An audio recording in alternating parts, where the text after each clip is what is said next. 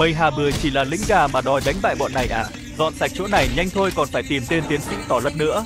Tên đạn đóng bằng đây, mấy con lính cùi này yếu lắm. Đánh bại bọn này nhanh thôi. Mọi người đợi tôi lấy vũ khí rồi lên tiếp.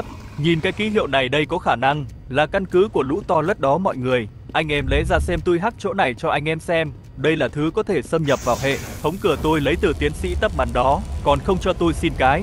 Làm gì còn tôi ăn trộm được một cái, may mà chưa bị phát hiện đấy. Làm sao mà lũ camera lại biết được? Căn cứ của chúng ta không xong rồi. Anh em nghe thấy gì chưa đó vừa? Bảo đây là căn cứ của lũ CKBD.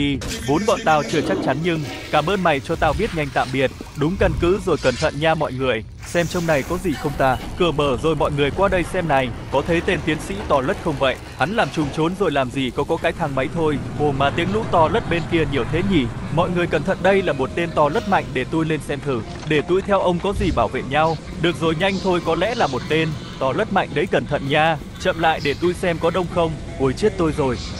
Nâng cấp thôi nào, mọi người, ha ha ha.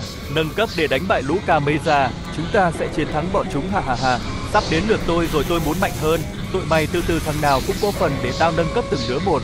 Ăn cợt rồi, ông mười lũ này đông quá chúng ta sao mà đánh lại. Từ từ theo dõi đã tìm cách phá hủy chỗ này. Ông hệ thống của mình bị làm sao thế này? Sao mình lại có dự cảm không an toàn thế nhỉ? Thôi kệ đi, mong không có gì xảy ra. Báo động lũ camera đã xâm nhập. Vào đây hãy đánh bại bọn chúng. Không ổn rồi, bị bọn chúng phát hiện ra rồi. Ta tìm thấy lũ chúng mày rồi nhá gan. To thật dám vào cả căn cứ của bọn ta. Chạy thôi mọi người, rút mau anh em chạy chúng ta bị phát hiện rồi. Đóng cửa nhanh nên chúng ta phải chạy. Mẹ không ngờ số bình lại đen như này. Anh em đợi tôi với. Đừng hòng chạy. Mẹ ăn ít bom đi. Ôi nguy hiểm quá mọi người đi tôi nào khi dâu tâu cà mê ra. Chạy đâu lũ cà mê ra kia đã vào đây. Rồi thì đừng hòng thoát khỏi đây. Không lắc cà mê ra. Nào sẽ tiếp tục bay xuống suối vàng ha ha ha. Tên khốn người rớt anh ấy. Ôi nguy hiểm quá, không anh ấy bị thương nặng quá. Ông ổn chứ lắc camera ông phải sống ông không thể chết. Đừng buồn có lẽ tôi sẽ không thể. Sống được hãy cầm lấy đoạn video của tôi. Ông đừng mà, tạm biệt nha người anh em thứ đó sẽ giúp ông trong tương lai đó.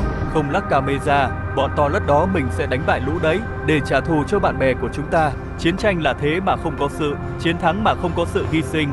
Anh ấy đã hy sinh để chúng ta có thể dẫn đến chiến thắng. Chúng ta không thể phụ lòng anh ấy phải chiến thắng trận chiến này.